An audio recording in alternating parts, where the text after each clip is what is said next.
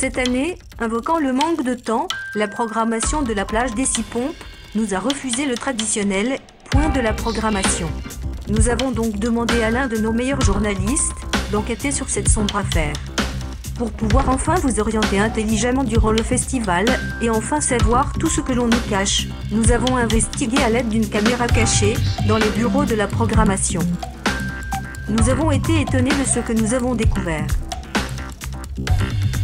Alors, moi, quand je finis mon jeu, ouais, ce que je disais, moi, je pense que euh, dimanche, euh, on va faire à 16h45, puis on va les faire rejouer beaucoup plus tard. On va commencer avec l'atelier des petits machins trucs. Je trouve que ça représente très exactement l'atelier des petits machins trucs euh, de, de la compagnie. Les petits détournements, ça représente très exactement. Tu vois, en gros, tu mets, tu mets, tu imagines, tu mets ça, tu mets ça, t'as un mec qui jongle avec ça. Et en fait, c'est qu'avec des objets qui tombent de nulle part. Ah oui. C'est un projet comme ça qui ça fait du bruit. Ça.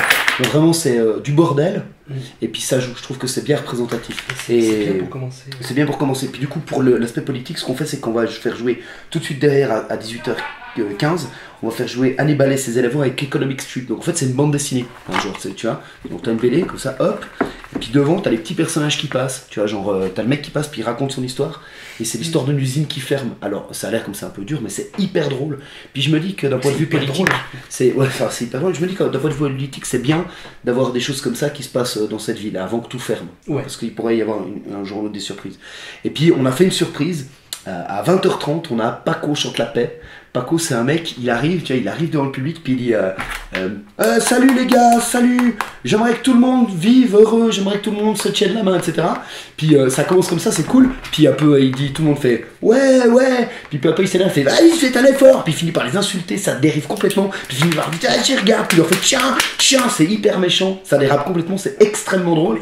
Et donc ça part du- d'un truc sympa, un stylo, et ça finit en un gribouillis très méchant. Et euh, donc voilà, le, le- le principe de Paco chante la paix, je pense que bon, c'est un spectacle surprise, les gens s'y attendent pas du tout, ce qui est assez drôle. Et c'est un petit peu, euh, si Didier Super avait été un peu classe, il aurait peut-être pu faire ça. Quoi. Ah ouais, ouais. Mais moi, du coup, dimanche, avec la nouvelle vague, tu vois, on a toujours cette cette idée de nouvelle vague où on va un peu accueillir des, des jeunes compagnies, puis les aider un peu en leur mettant à disposition des lieux pour bosser, on invite des pros pour leur faire des retours euh, Ok, sur, sur leur travail. Et là, on va commencer directement dimanche, cash, avec un spectacle qui s'appelle Fuck. fuck, ah, c'est bien. On est bien avec Fuck, je pense qu'on est dans la lignée de ce que, de ce Ouais, que tu ouais, proposes.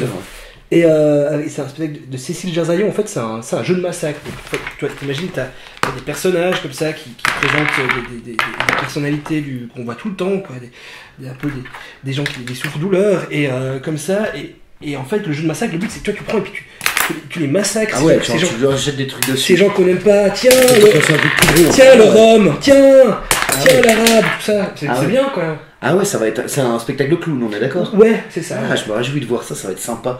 Ça, c'est dimanche déjà. Ça, c'est dimanche. Moi, on commence assez fort pour un dimanche. Commence- C'est une journée un peu familiale normalement. Bah ouais, le dimanche, pour certains, c'est le jour du Seigneur. On va faire- autre nous, c'est chose. le premier nous. jour, quoi. Voilà.